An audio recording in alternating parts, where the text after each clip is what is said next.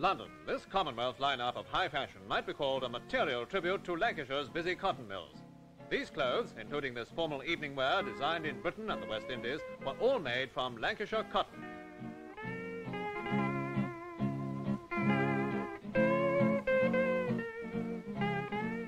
Day dresses from South Africa and new season styles in evening wear yet to be seen in Australia are all fashioned from printed cotton exported by Lancashire.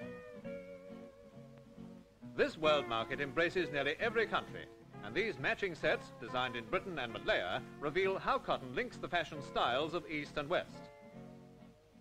Britain's idea of brief summer wear, let's hope it's not too brief, and South Africa quickly cottons on for her male companion.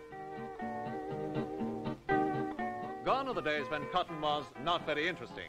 Now it's top-line fashion, as seen in these British and Australian beach outfits.